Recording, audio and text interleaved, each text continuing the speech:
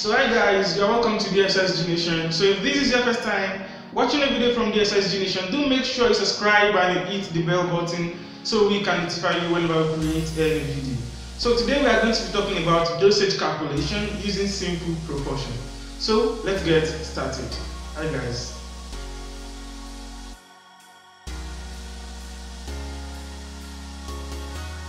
You're welcome back. So we said we are going to be talking about dosage calculation using simple proportion. Simple proportion. Now, before we proceed, let me tell you how this simple proportion works. Um, using a worldly affair, let's say one man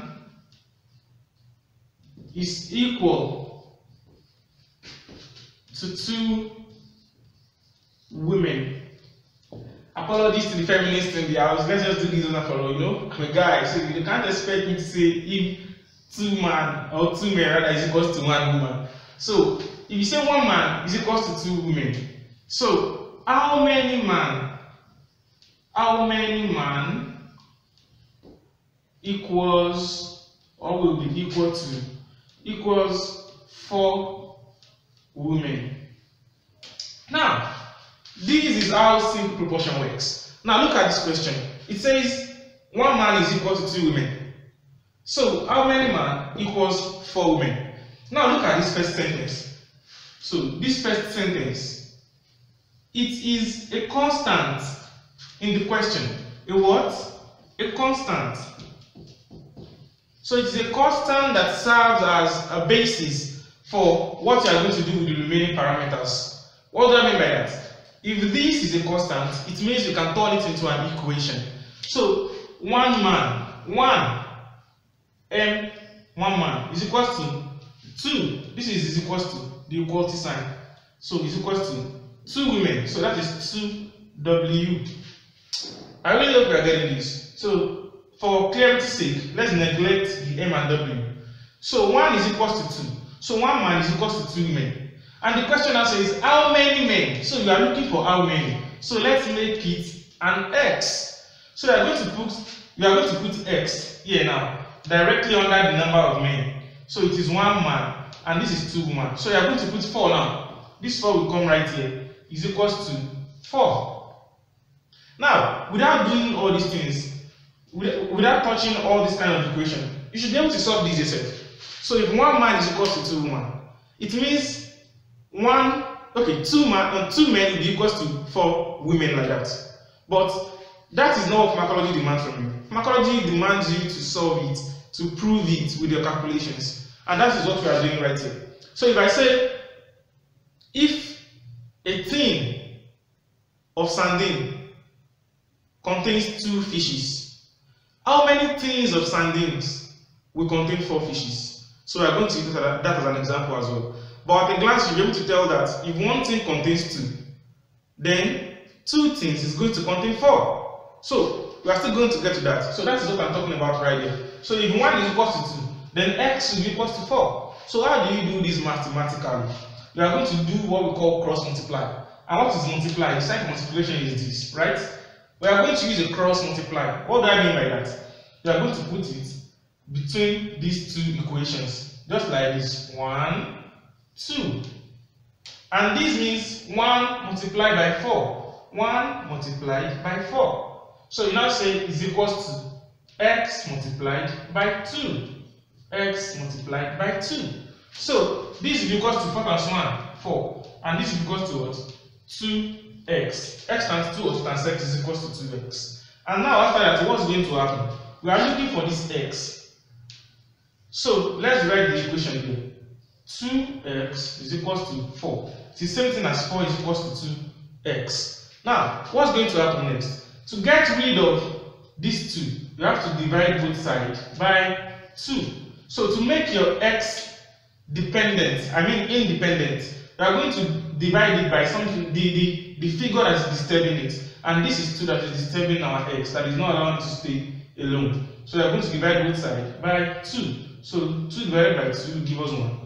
2 here 1 and 2 here will give us 2. So your x will be equals to 2 and that is your final answer.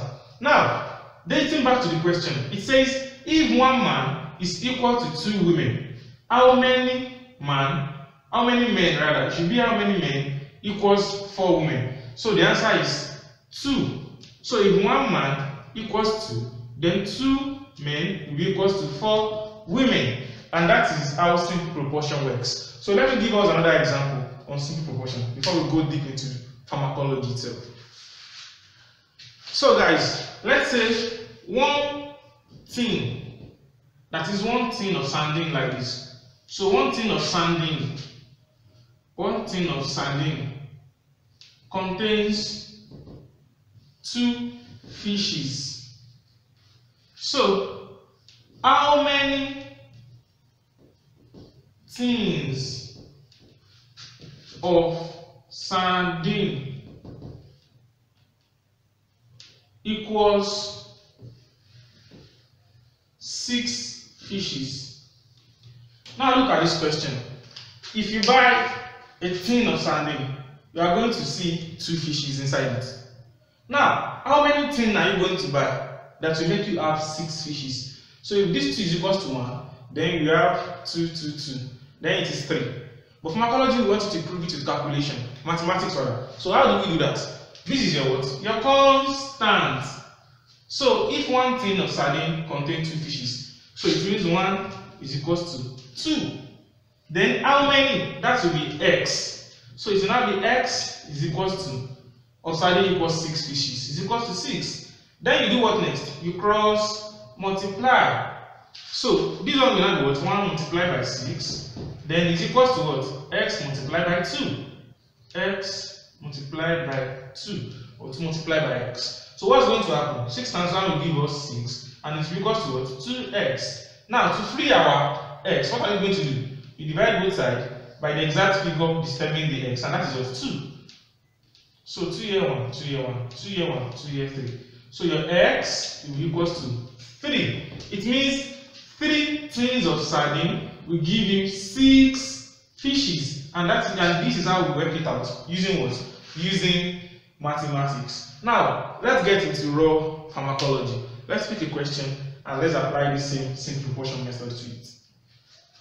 So, let's pick a question now. So, the pharmacological question from the textbook says, if 10 mils of procaine penicillin, procaine penicillin, so contains 4 million international units. So then the question says, how many mils of this drug will you give will you give to a patient a patient that requires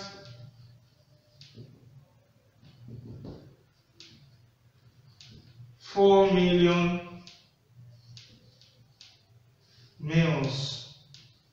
Sorry, four million units. Four million units. Now, this is a question that I'm going to solve using simple proportion. But how? I said simple proportion is giving you a constant and then it's asking you a question next. Now look at this. It says if 10 mils of procaine penicillin contains 4 million international units, that is your constant.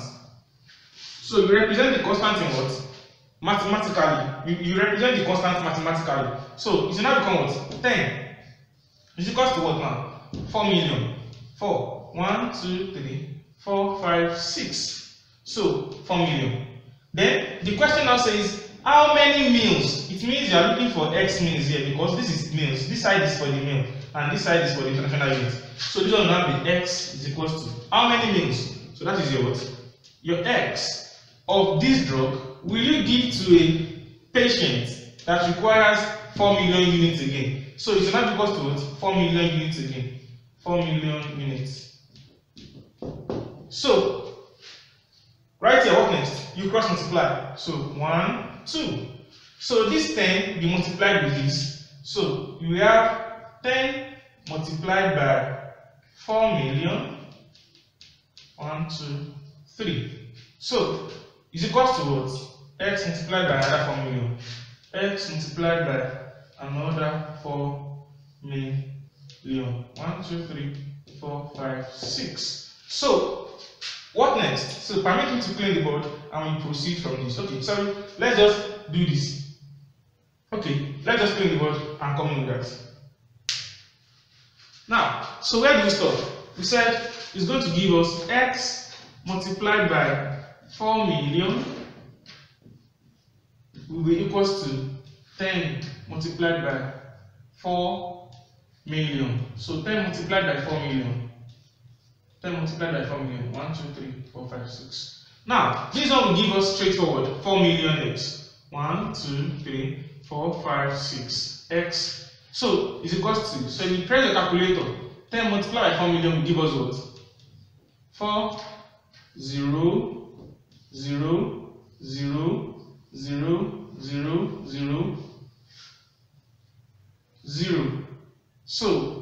So, 1, 2, 3, four, five, six, seven zeros.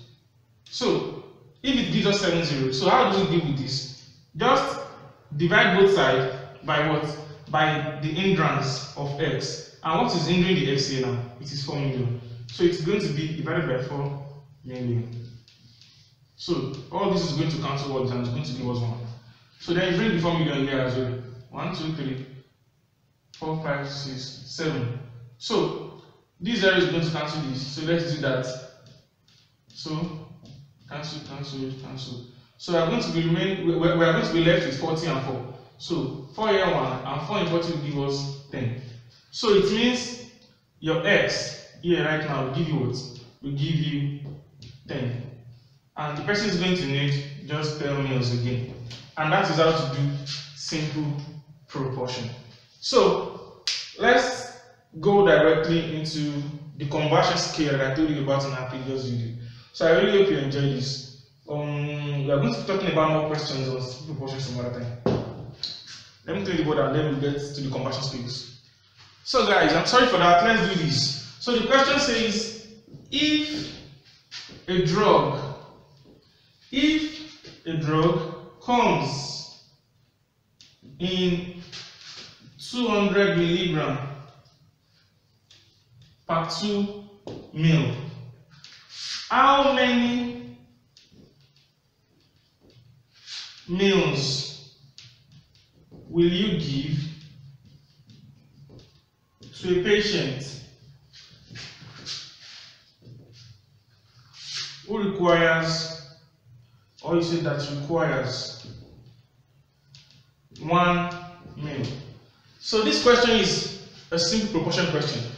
So you look for a constant. It says if a drug comes in 20, in 200 milligram per mil, so just bring it out. If a drug comes in 200 milligram per 2 mil, this 200 milligram per 2 mil is same thing as 200 milligram is equal to 2 mil. So, for clarity's sake, let's remove the units.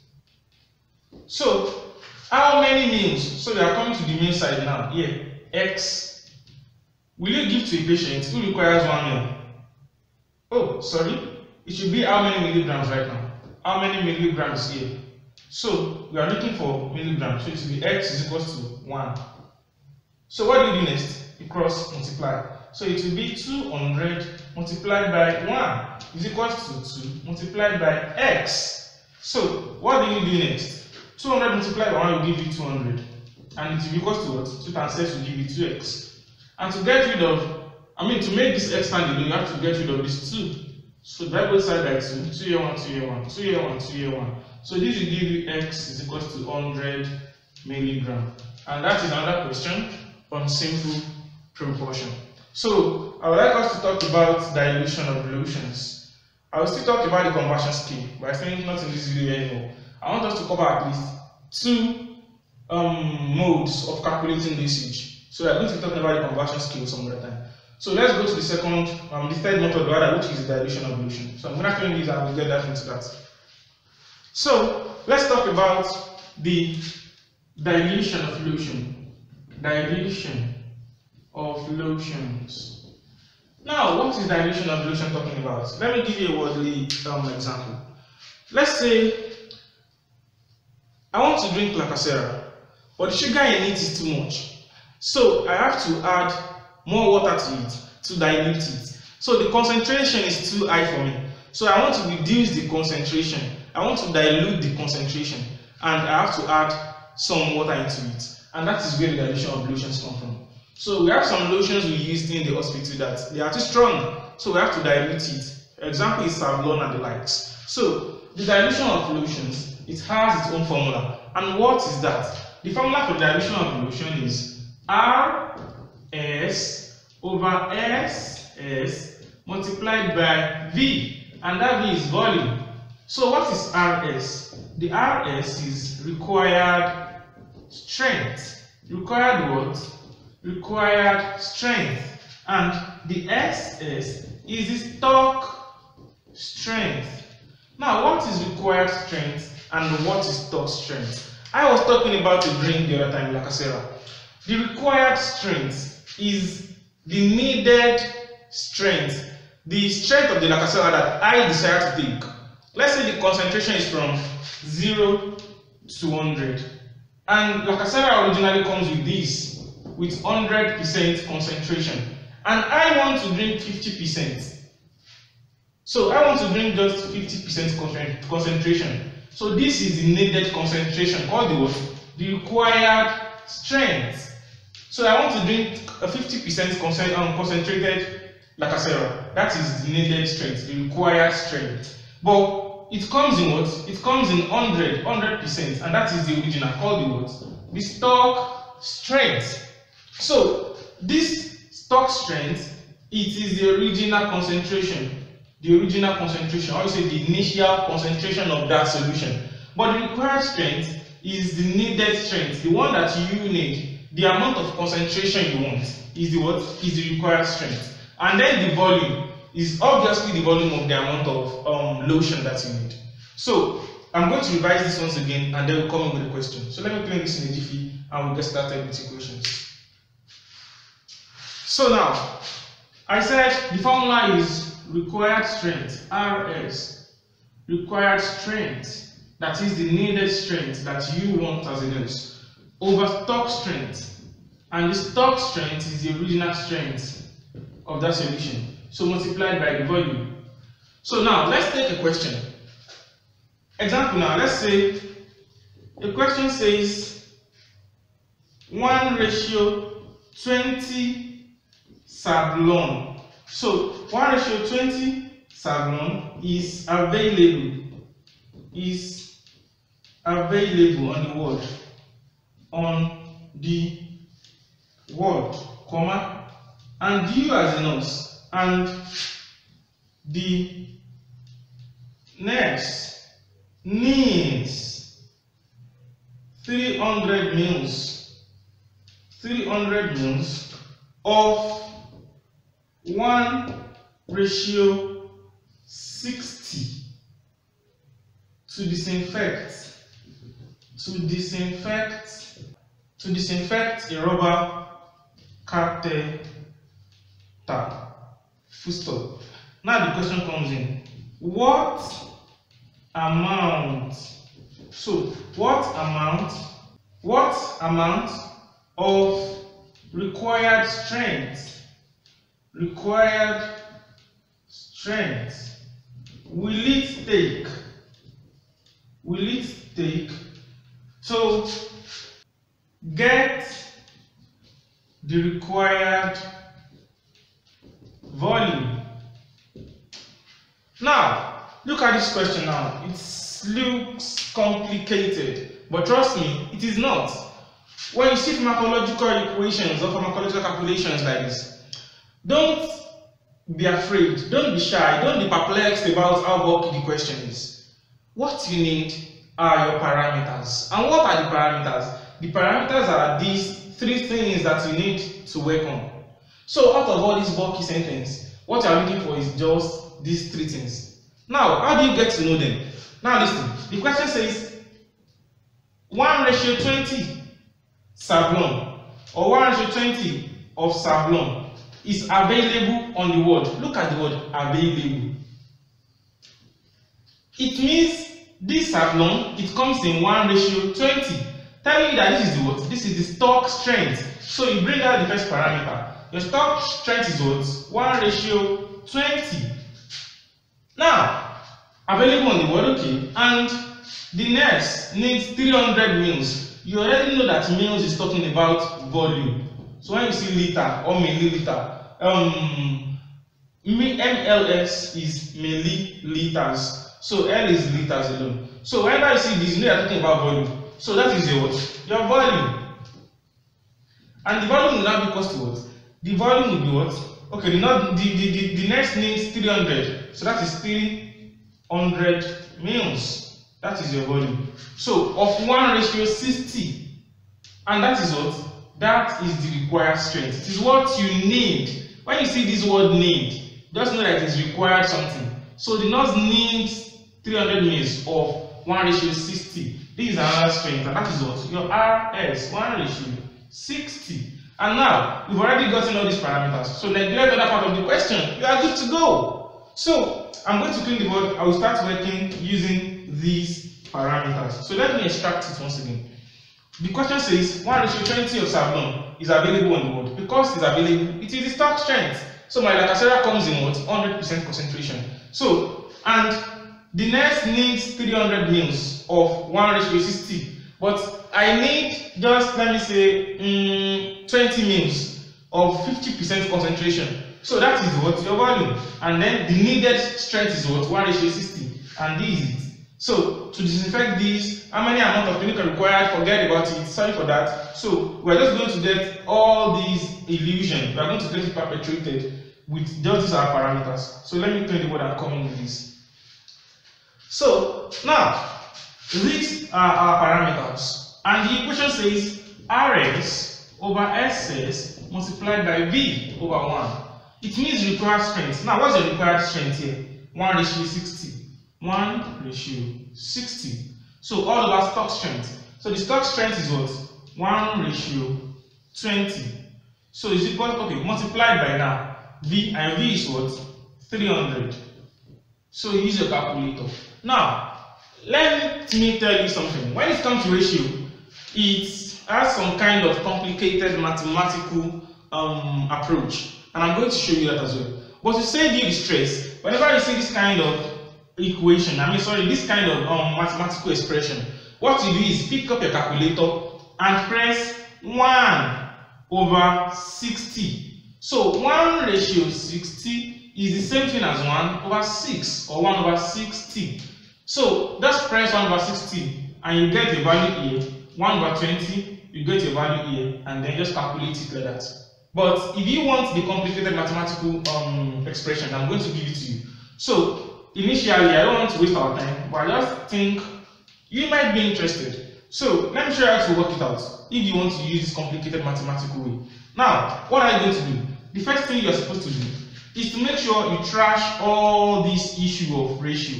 And how are you going to do that? Very simple, trust me. I said 1 ratio, something is 1 over that thing. So it will be 1 over 60. Right, 1 over 60. Then we have what next? Divided by. So it become divided by 1 ratio 20. So 1 over 20 like that. Right? So multiplied by what? Multiplied by 300. Now, forget about this 300 first. Let's deal with this complicated expression. So how do you do that? You divide them. But what do I mean by divide? I mean you separate rather. So this division sign, you are going to turn it into this. But how? You bring in this 1 over 6. The same thing as 1 over 60, so you can neglect the 0. So 1 over 6. Then divided by, turn it to this. Divided by. So you bring in this one to 1 over 2. Are you getting it now? So what next? In mathematics, if you say A over B divided by C over D, the meaning of this expression is A over B multiplied by D over C. What's the meaning of that? This is A over B, right? Divided by C all over D. So it is the same thing as saying this same 1 over B, you bring it back here. But you change this one into what? Into multiplication. And after changing it, it will affect this C over D. So one is going to come up, and the other one is going to go down. And that's why we get A over B is multiplied by B over C. So we are going to do the same thing here for these guys, which means it's going to turn to what? It's going to turn to 1 over 6 divided by 1 over 2. So it will be equal to 1 over 6 multiplied by 2 over 1. I hope you get that. And this will give you what? 2 times 1, 2.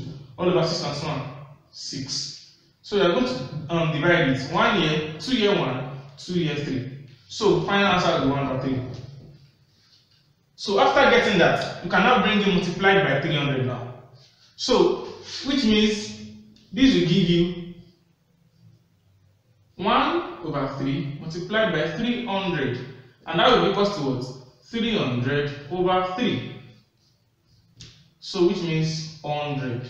So you are going to be needing 100 mils. And that will be your answer. So that's the volume of water you are going to need to dilute it. So if you use the same method that I asked you to use here, 1 ratio 60, just get the answer, put it on top, and 1 ratio 20, you get the answer, put it below, multiplied by 300. You are still going to get the same thing, which is 100 minutes. I really hope you get this. So let me bring you one more example, and then we'll call it a day for this dilution of evolutions, and then we can meet in the next video. Talking about the rate of flow. So let me click in this, and we'll talk about it next time. So now, let's take another question. So another question says, make two pints of Lysol 1 ratio 80 solution from stock strength stock strength of 1 ratio 20 now this question is just straightforward. We don't have to stress ourselves about it. Now look here, it says make two pints. This pint is also a way you can represent volume. So now the, the equation says Rs over SS multiplied by what? Volume. So this is going to be Rs. What is the required strength? Make, so what you make is what you need. So you want to make it because that is what you need. So you know that your volume now is what? 2 of Lysol 1 ratio 80 solution that is what you need 1 ratio 80 and that is required strength 1 ratio 80 from a stock strength from a what a stock strength that's your SS and that is what 1 ratio 20 now what next apply the formula RS over SS multiply by volume so how do you do that now your RS is what 1 ratio 80 1 ratio 8 over stock strength 1 ratio 20 1 ratio 2 then multiply by the volume. Multiply by volume. Volume is what? 2 over 1. Now, what's going to happen next? Simple. You say 1 over 8 all over 1 over 2. I hope you understand that from our previous slide. I mean, I mean our previous thing. So, multiply by what now? Multiply by 2. So, you deal with this first. And how do you deal with it? In leakage. So, it will become 1 over 8 divided by 1 over 2. So, and after that, this one is going to become 1 over 8 multiplied by 2 over 1. So it's going to be changed due to the change, due to the transition in this sign. So, and it's going to become what? 2 times 1 will give you 2. All over 8 times 1 will give you 8. 2 here 1, 2 here 4. So it's going to become 1 all over 4. And now you cannot bring this 1 over 4 and add it back to this. So it will be 1 over 4 multiplied by your paint 2. So it is going to become 2 over 4. So 2 here 1, 2 here 2. So your final answer will be half. Oh, yeah, that is it. The final answer will be half. So you are going to be needing half pints. Half pints. And that is it. And that's that about what? About the dilution of solutions. I really hope you enjoyed this video. If you do, make sure you give it a thumbs up. If you subscribe to DSSG Nation, what we need from you is to share the video with your friends and if you have not subscribed make sure you do that now and hit the notification icon so that we can always notify you when we create any video hi guys